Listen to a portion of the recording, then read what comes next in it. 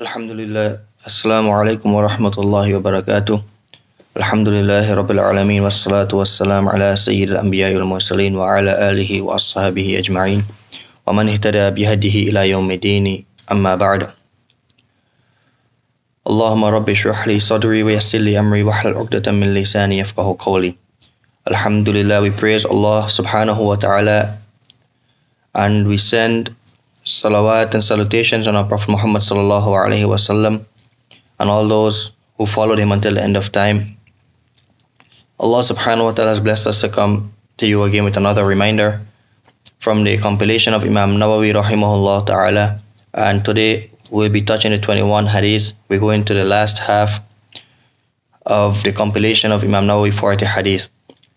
And a reminder for myself and our audience that this is not our series that we've been doing is not just for lecture it's not really a purpose of lecturing to one another but it is as reminders from these beautiful scenes of rasulullah sallallahu alaihi wasallam and each one of these hadiths there can be so much to talk about even from various scholars. There are so many lectures about them.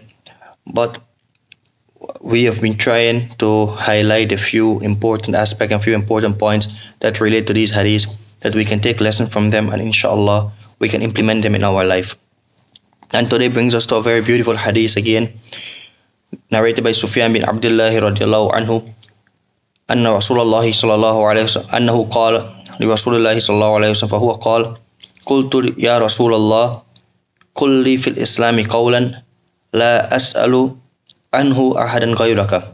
That tell me something in Islam, tell me such a word and such a statement in Islam, in which I will not ask, I will not need to ask anyone other than you. So Rasulullah sallallahu alaihi wasallam gave him an answer, and Rasulullah sallallahu alaihi wasallam said to him, "Qul amantu billah, thumma istaqim." Say, I believe in Allah, and then be steadfast. Subhanallah the advice of Rasulullah sallallahu alaihi wasallam in this hadith, we see again it brings us to the important aspect of Rasulullah sallallahu alaihi wasallam when he said that "Utitu jawami al kalim," that I have been given concise speech. This was a blessing of Rasulullah sallallahu alaihi wasallam that he was given comprehensive speech, concise speech. That his words were short and brief, but the meaning, subhanallah, was so tremendous. And this is a, this hadith itself is one of those miracles of Rasulullah from the many miracles of his concise and comprehensive speech. The questioner asked Rasulullah such a statement, such a question of something that he will not need to ask anyone else throughout his life. Such a question that Rasulullah should teach him something, tell him of something that he will not need to ask any person throughout his life. He will be sufficient with it. He will not need to ask anyone something else regards to the aspect and Rasulullah combined for this questioner two phrases in his answer. And that is say I believe in Allah he's telling the questioner. Say I believe in Allah and then be steadfast. The complete essence of one declaration of iman and one declaration of belief and the application of one's life through every difficulty and and, per, and perseverance throughout our life. This is what Rasulullah sallallahu alaihi wasallam said this person. His words is instructing the companion anhu that he should always after saying his belief he should always renew his iman. Not just with he say amantu billah he believe in Allah and he remain and he left it as that. But Rasulullah is showing him is reminding him to review your iman review your faith. Look into your faith, introspect yourself, and look into how a person iman is. And Rasulullah sallallahu alaihi wasallam is also hinting at the fact that it should not just be from the tongue, but the remembrance of Allah subhanahu wa ta'ala shall be the, from the heart also. So Qul amantu billah, say you believe in Allah subhanahu wa ta'ala. And Rasulullah continue, Thumma and be steadfast. Be steadfast in on the obedience of Allah subhanahu wa ta'ala. Be steadfast on refraining oneself from disobeying Allah subhanahu wa ta'ala, from the disobedience of Allah subhanahu wa ta'ala. And continue, be steadfast and, and continuous on action, good actions that can draw us near and draw us mercy and draw us closer towards Allah subhanahu wa ta'ala, the Jannah of Allah subhanahu wa ta'ala on the day of Yawm al-Qiyamah. Allah subhanahu wa ta'ala to this effect even mentioned in the Quran regarding to believers, regarding to those that say that say the Shahada, regarding to those that take the testimony in of faith in believing in Allah subhanahu wa ta'ala. So Allah subhanahu wa ta'ala emphasized in the Quran with the verse in Surah Fussilat Allah subhanahu wa ta'ala said إن الذين قالوا ربنا الله ثم استقاموا تتنزل عليهم الملائكة ألا تخافوا ولا تحزنوا وأبشروا بالجنة التي كنتم توعدون Allah subhanahu wa ta'ala emphasizes aspect of a person that takes iman. He, he constantly review his iman. He constantly review his belief and he is steadfast on uh, on what comes after believing in Allah subhanahu wa ta'ala. So Allah subhanahu wa ta'ala says in the Quran, the translation of the verse, that really those who have said Rabbun Allah, our Rabb, our sustainer, our, our Allah, our Rabb, our sustainer and our provider is Allah subhanahu wa ta'ala. Those who say that we believe in Allah subhanahu wa ta'ala in other words. And then Allah subhanahu wa ta'ala continues, ثُمَّ اسْتَقَامُوا And then they remain on steadfastness. After acknowledging Allah subhanahu wa ta'ala as Lord, they believe in Allah, then these people they remain on steadfastness. What happens? تَتَنَزَّلُ عَلَيْهِمُ الْمَلَائِكَةِ Allah subhanahu wa ta'ala says that malaika, the angels, descend upon them. The angels will descend upon them, saying, Alla takhafu wa la tahzanu. That do not be fearful, do not fear for what you have to go forward to. Do not fear for what you will go forward to meet in the hereafter. وَلَا تَحْزَنُوا And do not grieve for what you have left behind. وَأَبْشِرُوا بِالْجَنَّةِ الَّتِي كُنْتُمْ تُوعَدُونَ And then the angels give them glad tidings to glad tidings to Jannah for that Jannah, for that paradise of that Jannah which you have been promised.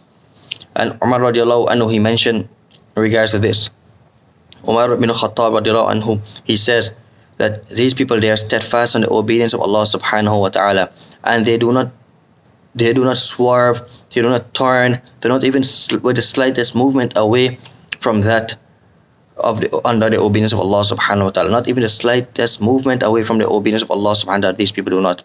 This is what he's explaining. Umar radiallahu anhu is explaining the aspect of what steadfastness and what istiqamah is referring to. So this means that they are firm upon what Allah subhanahu wa ta'ala has ordered them in all matters of belief, and all matters of speech, and all matters of action. It is not just that we say our belief, but most importantly, and the and the most important aspect, which many a times we say good, or we are very good at talking as we delivering lectures, or we listening to advice. The speaker may be very good, or we ourselves may be very good in talking something, but in reality, what we talk, that is the knowledge. But what do we do? What are we doing? What is our actions? Our practice? Are we living by our word? As Allah subhanahu wa ta'ala says in the Quran, لِمَ تَقُولُونَ مَا لَا تَفْعَلُونَ Why do you say of that which you do not do? What is the use of our knowledge when we do not practice it? So similarly, our iman, to be steadfast in our iman, we know we believe in Allah subhanahu wa ta'ala. We review our iman that everything that comes after that is for us to be steadfast upon obedience of Allah subhanahu wa ta'ala and refrain from the disobedience of Allah subhanahu wa ta'ala. Tests and trials will come when we accept our iman and that is the importance of why we need to be steadfast. Not just by merely saying La ilaha illallah Muhammadur Rasulullah and we attain Jannah and we say yes Alhamdulillah we don't have to do any other thing. Jannah is already destined for me.